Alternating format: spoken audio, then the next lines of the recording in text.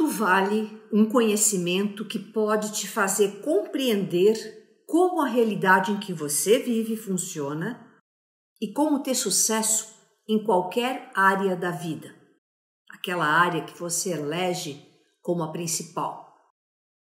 Esse conhecimento não tem preço, mas você vai ter acesso a ele agora.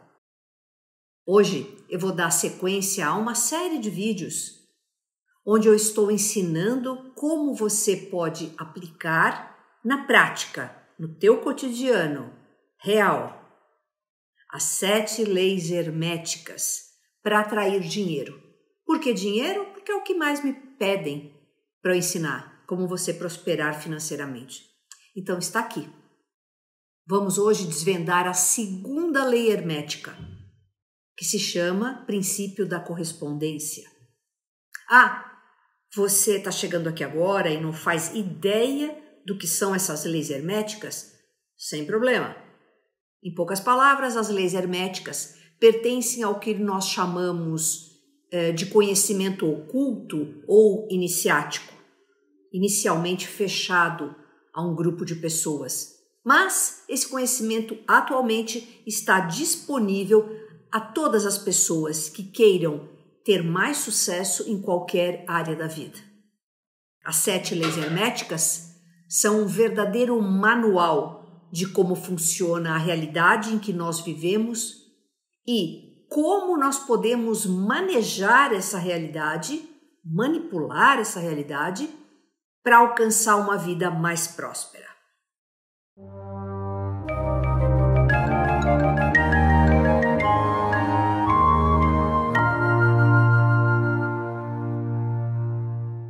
Olá, noéticos! Vocês estão prontos para mais uma dose de conhecimentos práticos sobre como prosperar? Se você está chegando aqui pela primeira vez, eu vou me apresentar. Eu sou Mabel Cristina Dias, sou médica de formação e pesquisadora voluntária sobre a consciência humana. Sou cofundadora da Escola Noeses, uma escola iniciática para os tempos modernos, que tem como objetivo ajudar você a ter uma vida extraordinária, nada menos do que isso. Esse é o meu objetivo. Muito resumidamente, no vídeo anterior eu falei sobre a primeira lei hermética, como você aplica a primeira lei hermética para atrair dinheiro. Essa primeira lei hermética é a lei do mentalismo, que diz: o todo, tudo que existe é mente. O universo é mental. Nós vimos que você cria a sua realidade através da sua mente. A sua realidade não é por acaso, ela é criada pela sua mente. E lá eu fiz um questionamento: como está a sua mente? Quais são os conteúdos que habitam nela? Quais são as suas crenças? Essas suas crenças são favoráveis ou não à prosperidade financeira? As suas crenças te limitam, te seguram ou permitem o crescimento contínuo nessa área? Se você não assistiu ao vídeo anterior dessa série, eu peço que depois você volte lá, assista, para que você consiga compreender melhor como trabalhar as suas crenças para que elas criem uma realidade mais abundante para você. Então, foi sobre isso que eu tratei no outro vídeo. Hoje nós vamos falar sobre a segunda lei hermética, ou princípio da correspondência, que diz: o que está em cima é como o que está embaixo. E o que está embaixo é como o que está em cima. Muito enigmático isso, não? É, mas dá para a gente destrinchar aqui. Quando a gente diz que o que está em cima é igual ao que está embaixo, o, o que está embaixo é como o que está em cima, nós não estamos falando que isso seja igual, tá? É similar, parecido, ou seja, as coisas se assemelham em diferentes planos da vida. se nós respeitarmos as diferenças próprias de cada plano. O que isso significa? Que apesar de cada dimensão da existência ter características próprias, as regras que valem em planos superiores valem nos inferiores. Hum. Vamos lá, vamos destrinchar. Aí você pode me perguntar, Mabel, o que é em cima, o que é embaixo? Boa pergunta. Compreenda que do universo, neste mundo material que a gente vive, existe uma estratificação, planos. Por exemplo, no ser humano, nós podemos ver três planos bem distintos, característicos: o plano físico, material, o mental, a nossa mente e o nosso espiritual. O físico é denso, palpável, tangível. O mental é mais sutil, não dá para pegar, e o espiritual ainda mais sutil. Mas todos esses planos coexistem em cada um de nós. De uma forma correspondente, isso se aplica também aos planos da existência, o que nós conhecemos de uma forma equivocada como dimensões, a dimensão A, B, C, D, infinitas dimensões. Nós estamos aqui agora, nossa consciência na terceira dimensão, como é conhecida popularmente. Ok? Então nós vivemos em uma realidade de três dimensões, onde as coisas têm comprimento, altura e profundidade, três medidas do espaço três planos. Nós vivemos nesta terceira dimensão que as pessoas conhecem como uma dimensão material, material, feita de matéria. Acima da terceira dimensão, nós temos a quarta dimensão, conhecida também como astral, com as suas diferentes camadas, o astral inferior, o astral superior, e vai, são várias camadas. Acima dela nós temos a quinta, a sexta e assim por diante. São infinitas as dimensões da existência. Quanto mais elevada, mais sutil, mais imperceptível, menos material, menos densa, mas elas existem e elas nos influenciam igualmente. De uma forma correspondente, nós, seres humanos, somos seres multidimensionais. Nós temos um corpo físico mais denso, mas também temos outros corpos chamados sutis. Corpo energético, o corpo emocional, o corpo mental inferior, o mental superior, o corpo búdico e, por fim, o corpo átmico. Esses sete corpos em nós ocupam dimensões diferentes que têm características diferentes, mas que obedecem às mesmas regras. Esses corpos são diferentes, mas eles conversam entre si, eles se interpenetram. Os corpos mais sutis ou elevados influenciam o nosso corpo físico, e o corpo físico interfere nos demais corpos. Quer um exemplo?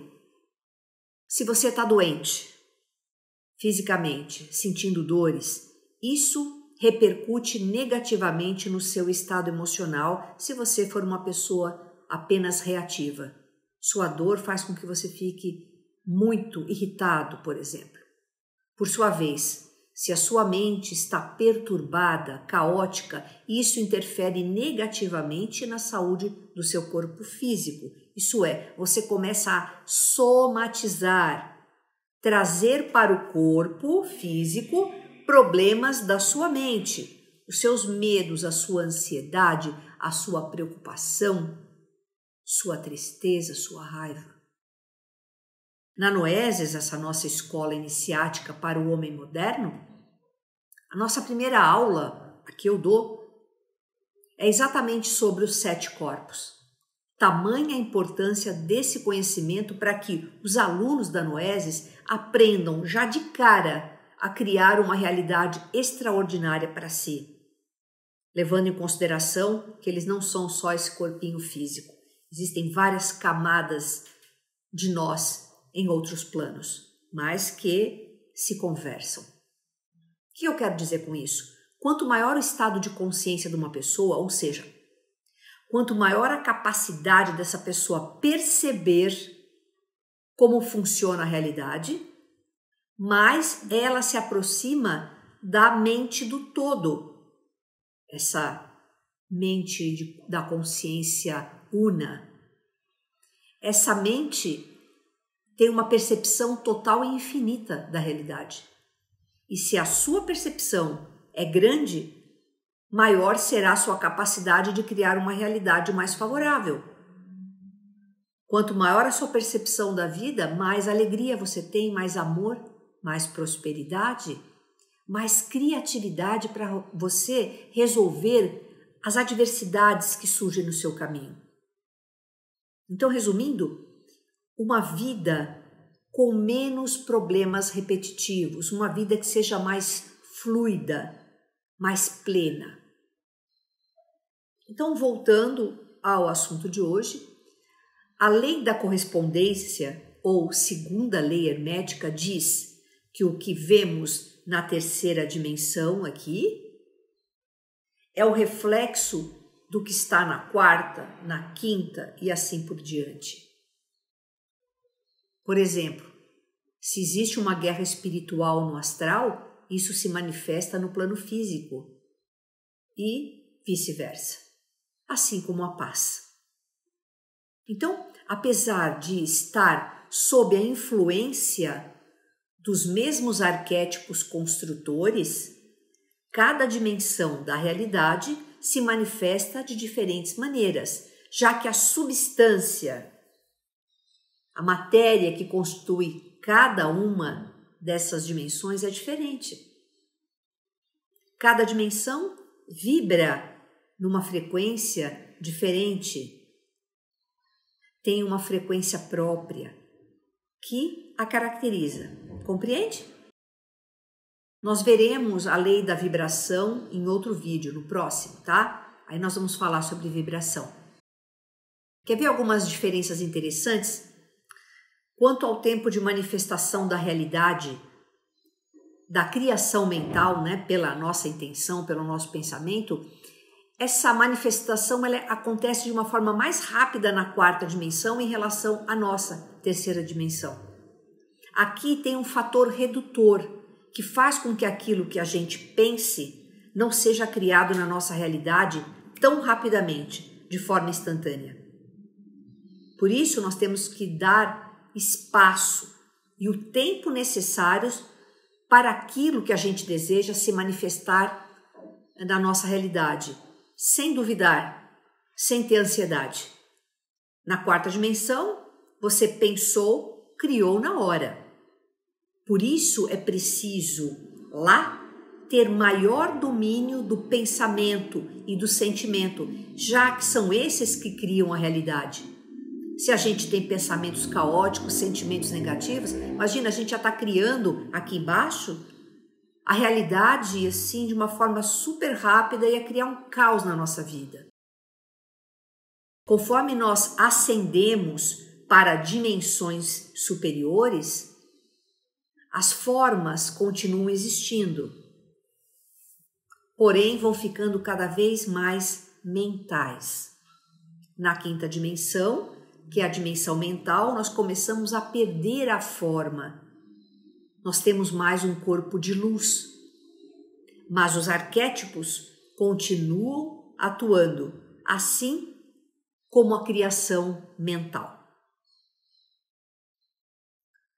Vai, vai sentindo o que eu estou querendo dizer para você. Nas dimensões superiores, um ser consegue transferir todo o conhecimento, toda a sua informação a outro ser apenas de forma mental. Através do que? De blocos de informação.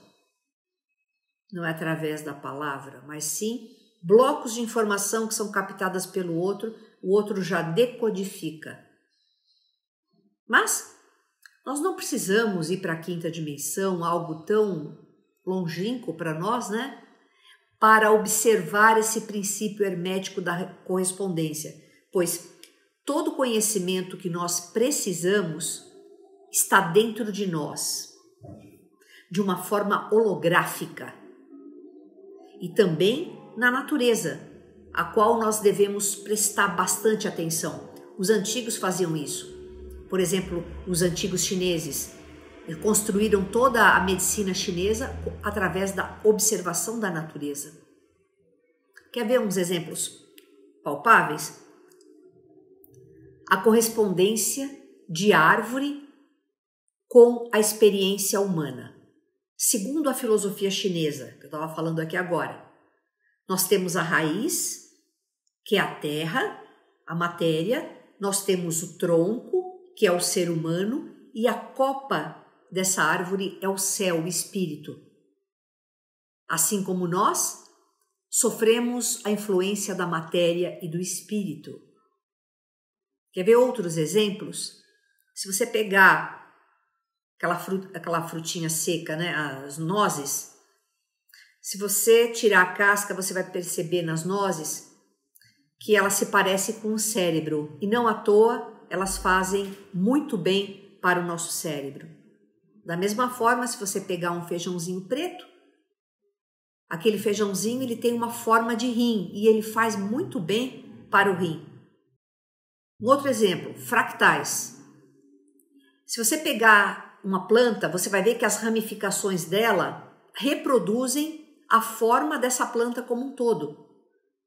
Se você pegar nas costas das praias, tal, né, do, do, da geografia, nas costas, regiões costeiras dos continentes, vocês vão ver sempre as mesmas formas se repetindo. Isso são chamados fractais.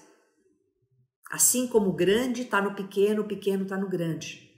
Quarto exemplo: o modelo do átomo se assemelha muito ao do sistema solar. Então, no átomo, nós temos os elétrons que orbitam em camadas em volta do núcleo central, assim como os planetas orbitam em camadas em torno do Sol, aqui no nosso sistema solar. Outro exemplo: os vasos sanguíneos do nosso sistema circulatório se assemelham aos rios que nós vemos na natureza. Da mesma forma, os quatro elementos terra, água, ar e fogo correspondem à nossa carne, sangue, mente e espírito. Da mesma forma, uma semente carrega dentro dela toda a informação, todo o projeto de uma árvore. Um outro exemplo: na forma espiral das galáxias, nós podemos ver a correspondência com a nossa evolução. Cada volta dada na nossa evolução, nós chegamos ao mesmo ponto de saída, só que num nível acima ou abaixo, depende, dependendo do que nós fazemos. Então a evolução ela vai acontecendo assim, ó. Vai para o mesmo ponto, só que numa frequência acima, numa oitava acima. A mesma coisa acontece com a entropia. Existe a entropia física e mental. Existe uma tendência à desordem com o tempo em um sistema fechado. Na física, nós chamamos isso de entropia. Então, um sistema fechado, se for deixado, ele vai entrar em decomposição. A nossa mente também, se a gente não coloca foco na mente, uma ordenação que depende da nossa vontade, do nosso querer, de uma decisão firme de não nos perdermos em pensamentos repetitivos e negativos, a nossa mente vai tender para a desordem, para o caos, que é o que a gente mais vê hoje em dia, as pessoas com caos mental. E um último exemplo, as qualidades da mente do todo estão embutidas na centelha divina que habita, que existe em nós. Como? O todo se reflete na supermônada, que se reflete na mônada, que se reflete no eu superior, que se reflete na alma de cada ser. Isso a gente fala mais profundamente na escola Noesis. Assim como o que está em cima está embaixo e o que está embaixo está em cima. O que está fora está dentro e o que está dentro está fora.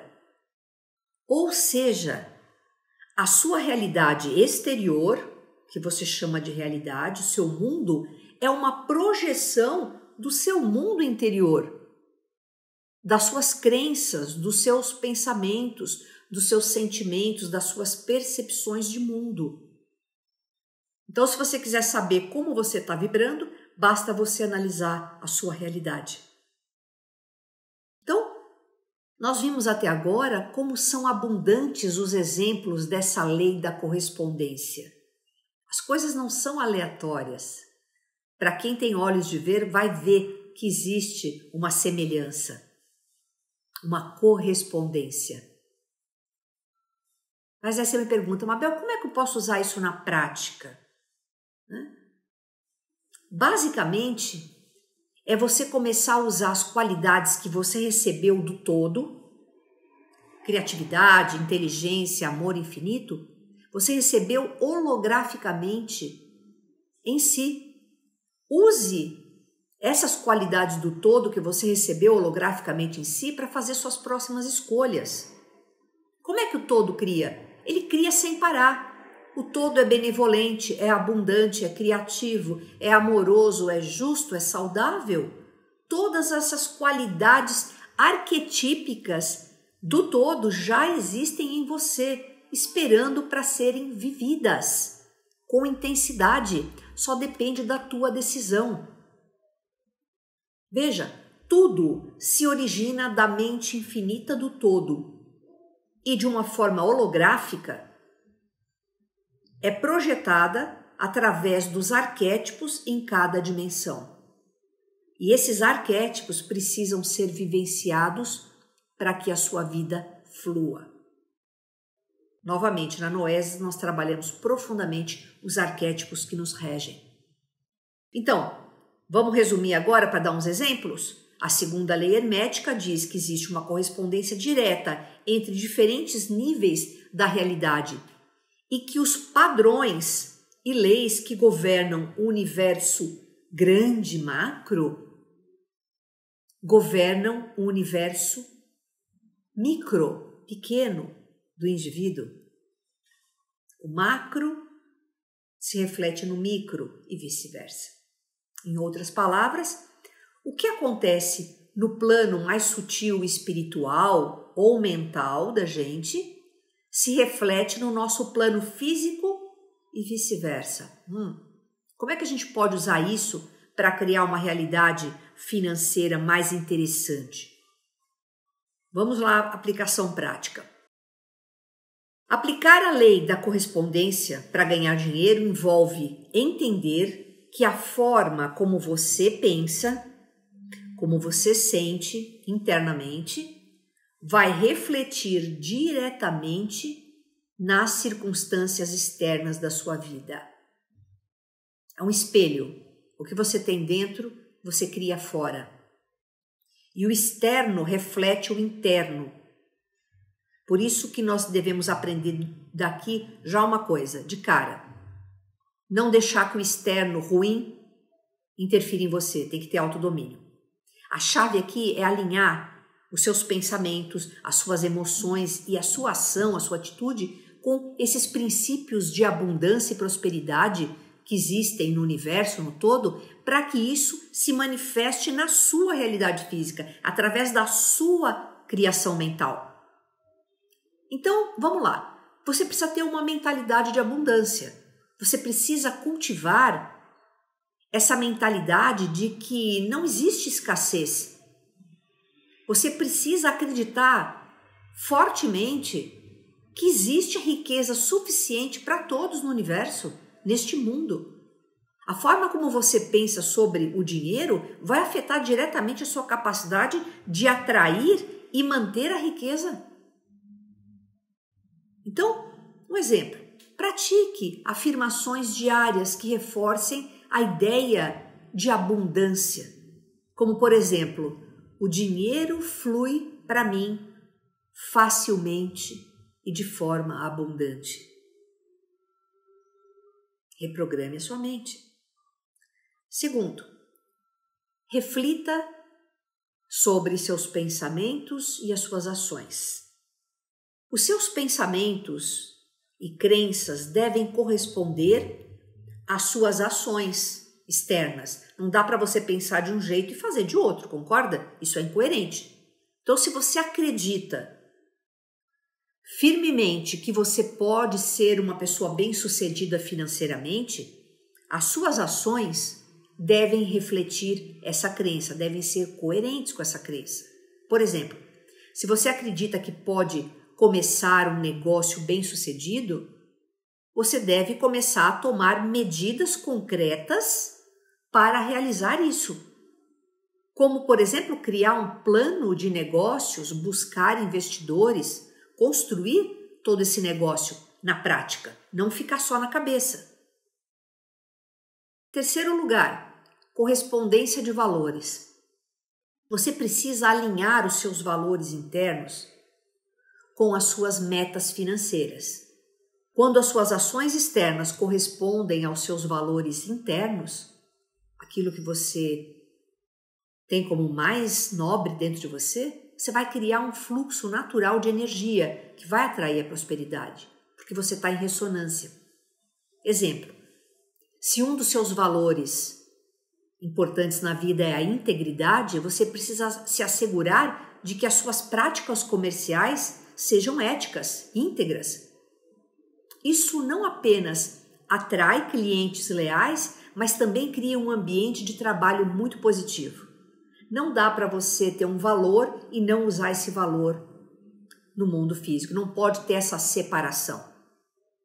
Um quarto item, é preciso ter equilíbrio interno e externo. Então, você tem que procurar manter um equilíbrio entre mundo interno, pensamentos, emoções, sentimentos, com o seu mundo externo, que tem a ver com ações e resultados. O equilíbrio dinâmico promove harmonia, bem-estar, fluidez financeira. Procure então meditar regularmente, todos os dias, para você ter uma clareza mental e emocional sobre os próximos passos. Use essa clareza para tomar decisões financeiras mais acertadas, mais estratégicas, para estar atento a novas oportunidades de ganhar dinheiro, de multiplicar seu dinheiro, de criar valor no mundo. Então vamos a alguns exemplos práticos é, na vida financeira, né? Por exemplo, nos investimentos. Estude os padrões de sucesso em investimentos anteriores que você fez ou que outras pessoas fizeram e foram bem-sucedidas e aplique esses padrões, aquelas coisas que se repetem, em suas próprias decisões de investimento. Então, se você perceber que investidores de sucesso seguem uma disciplina rigorosa, que eles fazem uma análise detalhada antes de investir, não fazem nada no susto, adote esses hábitos na sua prática de investimento. Modele, então, as pessoas que têm sucesso na área de investimentos. O modelar o que, que é? É a correspondência. No âmbito de negócios e empreendedorismo, Procure observar os negócios bem-sucedidos. Aqueles que você diz, nossa, que sucesso, né? Eu gostaria de ter uma empresa assim. E procure identificar através do estudo dessa empresa quais são os princípios que ela segue. Então comece a aplicar esses princípios no seu próprio negócio, se isso está em conformidade com seus valores internos. Então, se empresas bem-sucedidas, no seu critério, investem em inovação e bom atendimento ao cliente, você deve fazer o quê? Mesma coisa, implementar essas características, essas estratégias no seu próprio negócio para atrair e reter clientes. Isso parece óbvio, né? Mas tem uma lei por trás. A lei do modelo, da repetição de padrões, dos arquétipos. No desenvolvimento pessoal, por exemplo, você precisa melhorar o seu desenvolvimento como ser e observar como isso se reflete na sua vida financeira. Então, invista em cursos de desenvolvimento pessoal, de autoconhecimento, de desenvolvimento financeiro. O conhecimento adquirido e a melhoria da sua mentalidade, lembra? Tudo começa na mente. Tudo isso vai se refletir em melhores decisões e resultados financeiros. Para você ter dinheiro, você precisa ter uma mentalidade para ganhar dinheiro, para multiplicar o dinheiro. É isso que eu estou querendo dizer. E você pode modelar coisas que acontecem no universo, você pode modelar pessoas de sucesso, você pode se conectar com toda a abundância do universo, porque essa abundância já está dentro de você. Isso é lei da correspondência. Você não está separado do universo, da abundância do universo. Procure construir relações comerciais, de negócio, refletindo esses valores nas suas interações. O ganha-ganha, nós não estamos separados. Se você tratar os seus colegas de trabalho, os seus clientes com o respeito, a honestidade que você deseja, que é a lei de ouro, você vai criar um ambiente de trabalho positivo, você vai atrair mais oportunidades de negócios, mais oportunidades de ganhar dinheiro. Onde está a dificuldade de aplicar a segunda lei hermética? Não existe dificuldade. Dificuldade está na sua decisão. Vou aplicar ou não? Vou estudar mais isso e me aprimorar? Tá? Resumindo, lei da correspondência: o mundo interno e externo estão intimamente conectados. Não adianta você querer ganhar dinheiro se a tua mente está escassa ainda. Tem que mudar a mente, tem que limpar sombras. Você precisa alinhar seus pensamentos, sentimentos e ações com princípios de abundância e prosperidade que existem no universo e não e assim, os exemplos são infinitos de que essa prosperidade existe. Não me diga que não existe. E não é a questão de sorte, é questão de conhecimento e aplicar esses padrões universais que governam tanto o macrocosmo quanto o microcosmo. Assim, nós vamos criar um fluxo de energia e dinheiro é energia. Fluxo de dinheiro. Atrai riqueza, sucesso financeiro e você leva essa riqueza para o mundo. A saída para tudo isso é buscar autoconhecimento, é trabalhar a sua mente através da autoobservação, você se sacar perceber o seu comportamento, a qualidade dos seus pensamentos, dos seus sentimentos, as escolhas que você faz e por que faz essas escolhas. Você precisa buscar o conhecimento de como funciona a realidade, que é o que nós estamos fazendo aqui nessa série de vídeos. Nós estamos explicando como funciona a realidade, as leis imutáveis do funcionamento da realidade. Lembra, Conhecimento é poder, poder de fazer novas escolhas e ter novos resultados.